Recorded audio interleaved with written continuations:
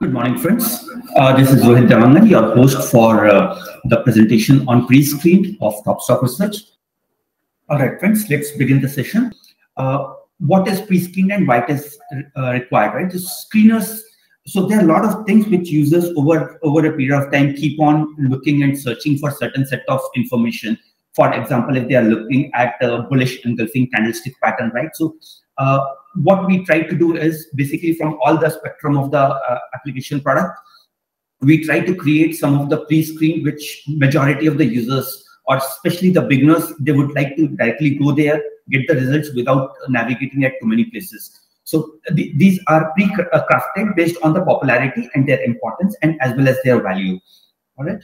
So uh, about pre-screen, what is a screener? Uh, needless to tell you, because majority of you are already subscribed to it, so we do understand you, you have an idea about the screener. But just uh, let me tell you in a brief that screener will help you to identify or to filter stocks of your importance uh, in minimal time, so that you don't have to go to each and every stock, find find the information, and then go to next stock if it meets or not. So screener will help you to find those stocks based on the criteria that you are interested in.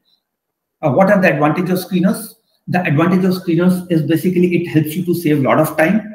Uh, you can you can create your strategy or your uh, favorite filter, and then you don't have to worry about going into each and every stock switch. Why pre-screened? We have mentioned that, and the categorization of uh, pre-screened in Top Stock Research. So first categorization is financial screeners.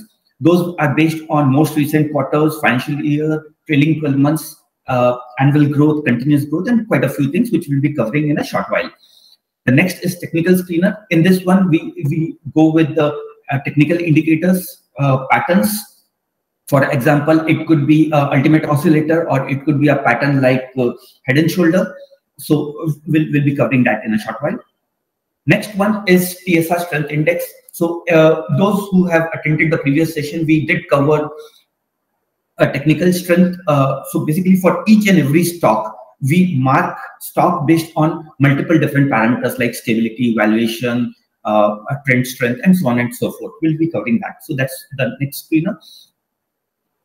Uh, then stock rank. So for example, if you're looking at which is the most bullish stock in the universe, so basically it, it, the screener will tell you that this is the most bullish or this is the most stable stock, so on and so forth. And then uh, based on the screener, you can quickly compare the position vis-a-vis other stocks of that universe. That universe can be same sector, universe can be mid cap or small cap, and so on and so forth. All right. So uh, pre-screened on Top Stock Research. So uh, basically, there are two views in Top Stock Research. One is public view. Uh, that that is free for all. You don't require any login. We, this this feature or this facility is there for last 12 years a lot of users have benefited out of it. You can continue to do so. Uh, then the second view we have is premium view. There are certain advantages in the premium view over public view. Some of them, some of the important ones I'm highlighting over here. Number one is basically there are no advertisements. Uh, it's much better UI and UX. Uh, you can export the data to CSV or an XLS. Uh, you can add alerts on it. You can do auto refresh and there are quite other features which we'll be covering in a short while. So from purely from the uh, perspective of this particular session, we'll be covering features of Premium View because uh, all of you have subscribed to one of the uh, better packages uh, uh, as a part of our 12 year celebration. So no point of showing you the uh, public view for this session, right? Okay, so what are the typical features of the screeners? First is basically it is tick-based screening. What tick-based screening is, uh, basically you can uh, filter stocks uh, on a 15-minute candle or 15-minute tick or a 30 minutes or a monthly tick. So there are quite a few ticks available, right from five minutes all the way to one month in the screeners. And in charts, you have even quarterly uh, screening. And the second is stock basket. What stock basket is, uh, you can you can go with the some of the standard stock basket like I want to filter only on FNO or I want to filter only on a micro cap, or I want to filter only on stocks of my watch list. Right? So that's the stock basket. So some of them are standard like FNO or a small cap, mid cap, or some of them can be custom stock basket like your watch list or your portfolio or things like that. And the next one which we have is backtesting. For majority of the technical part or technical screener indicators, we have backtesting. That means you can go back in the history and see that uh, what patterns was made was made and then depending on your confidence that uh, once the pattern is made then how the stock moves in the future uh, you can always uh, create or basically fine tune your strategies. Next one is customization. So what you can do is apart from screening the results uh, you can have custom column sets. That means uh, for example, if you're looking at high beta stocks, along with high beta stocks, you're looking for stocks which have good momentum, which has a, a, good PE or market cap. So what you want to see as a result set, in the result set, you can customize that. Then also we have two views, simple and TSR view. We'll cover that uh, in subsequent session, but just to give you simple view is much faster to render on your application. Let's say you are getting 500 records.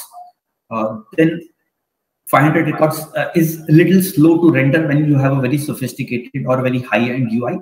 Simple view will be faster. TSR view will give you more capabilities, but it will come at a cost of certain price. Right? And the price is purely on based on your uh, basically local hardware. If the hardware is good, you don't have to worry. If the hardware is small, uh, is little older, uh, then obviously uh, uh, it will be slower. Next in line is basically once you screen the results, uh, you would want some future reference. You want it for future reference. There are few ways where you can save or store these things. Number one is you can export the data as CSV XLS, or you can uh, you you can save these information as or portfolio, or you can add. So once you do all those uh, customization, you can add as uh, uh alerts or uh, add to favorite. right? And so, so on, on the alerts part, you can add alert on a screener. For example, if you have a screener wherein uh, you want, you're looking for stocks which are in oversold zone for more than five days. Uh, and uh, if you want screener on that, you can have screener on that. Or if you find a stock uh, based on your research, you, you can add alert on a specific stock of that index. All right. So the broad categories of the screener, number one is price and volume based, most common, most powerful, most used. Uh, TSR stock strength index, technical screeners, pattern screeners, fundamental screeners, future and option screeners, and index sector analysis and heat map. Right. So these are the broad categories that we have.